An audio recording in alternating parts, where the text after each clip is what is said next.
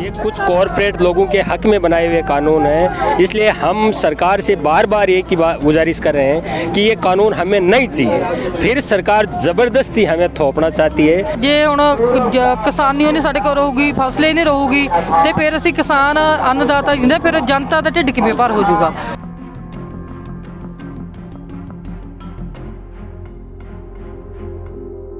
पिछले पाँच छः सालों में डीजल तो दुगना तिगना हो गया, डीएपी जो है डबल हो गया, यूरिया डबल हो गया, और ये जो प्राइवेट कंपनियाँ हैं, जो मुनाफे की हवस के कारण उन्होंने ऐसे आदि बना दिया किसानों को, रोज़ नए नए प्रोडक्ट डालते हैं अपने मुनाफे के लिए। बाजरा बिकता है ग्यारह सौ का। पानी की बोतल बनिए की है, वो बिकती है बीस रुपए की। पानी तो कुएँ का ट्यूबवेल का पानी है, वो तो बीस रुपए का। लेकिन ये मोदी को पता नहीं है क्या?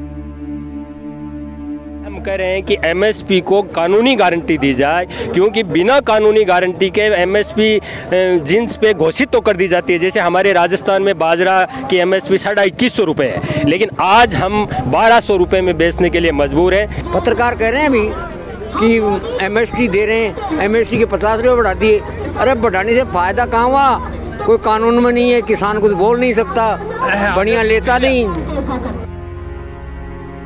इन्होंने तो ये तय कर दिया कि मंडी के बाहर व्यापारी अपनी दुकान लगाएँगे, मंडी में टैक्स लगेगा और बाहर के व्यापारी को कोई टैक्स नहीं लगेगा तो मंडी से कौन खरीदेगा, कोई नहीं खरीदेगा। और उन्होंने, इन्होंने तो स्टॉक की लिमिट ही हटा दी, चाहे जितना स्टॉक कर सकते हैं। आज हरियाणा, पंजाब, राजस्थान में अडानी और अंबानी के स्टॉक के बड़े बड़े स्टोरेज बन रहे हैं। इसका मतलब ये है कि सरकार की मंशा बिल्कुल गलत है। हमें गुमराह करने की कोशिश कर रही है, हमें बांटने की कोशिश कर रहे हैं। हमारी खेती को बर्बाद करना चाहती है थोड़े से कॉरपोरेट के लिए। इसलिए हम चाहते हैं कि तीनों काले कानून सरकार तुरंत प्रभाव से वापस ले वरना चाहे कितना ही टाइम लगे हम पीछे नहीं हटेंगे।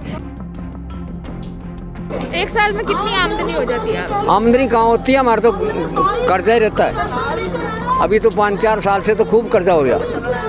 मेरे खुद के मैं बुढ़ा आदमी हूँ बयासी साल का हो गया लेकिन अब दो लाख रुपए बैंक के से रहे हमने बीस बोरी बाजरा की रखी। बीस बोरी रख के उसको बेचा। तो डीजल भी ले खाद भी ले उसकी बुआई भी करी, मजदूरी भी लगी।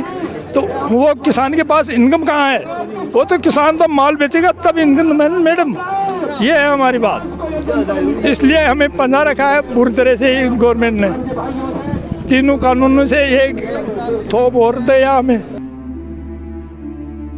सरकार ने ये बोला है कि आप अब आज़ाद हैं आप कहीं किसी को भी अपनी फ़सल बेचें। तो और मंडी में आप लोगों का शोषण होता है उसमें बिचौलिए होते हैं। तो इसके बारे में आपका ये बिल्कुल झूठ फैलाया जा रहा है कि अब हमने कानून बनाया है। पहले से कानून में बाकायदा प्रोविज़न है कि हिंदुस्तान का किसान अपनी जिन्स पूरे भारत में कहीं बेच सकता है। ये हमें गुमराह करने की चीज़ है। ये बिल्कुल झूठ है सरकार का कि आज हमें इस बात की गारंटी दे रहे हैं कि आप कहीं बेच सकते हो पहले भी हम बेच सकते थे। लेकिन अभी क्या व्यापारियों का हाथ में दे दी। तो वे व्यापारी हमारा ग्यारह सौ में बाजरा खरीदे, हरियाणा में साढ़े इक्कीस सौ बेच दे। ये कर रहा है हमारे साथ मोदी। ये शायद ये जो गोदी मीडिया है ना, ये जी न्यूज़ वाले या और, ये किसानों के दुश्मन है।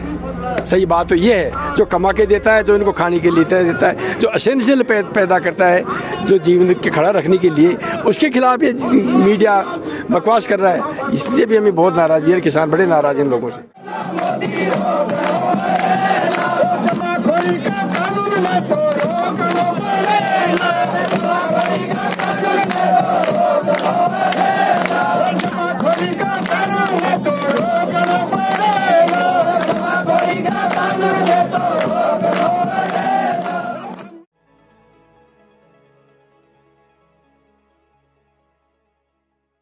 よし!